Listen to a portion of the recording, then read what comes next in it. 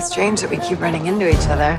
Maybe it means something. I doubt it. Yeah, I don't think so. You could just write your own roles, you know, write something that's as interesting as you are. What are you gonna do? I have my own club.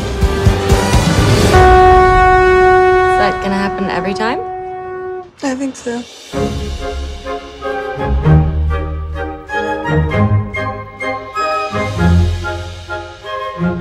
How are you going to be a revolutionary if you're such a traditionalist? You're holding on to the past, but jazz is about the future. Maybe I'm not good enough. Yes, you are. Maybe I'm not. It's like a pipe dream.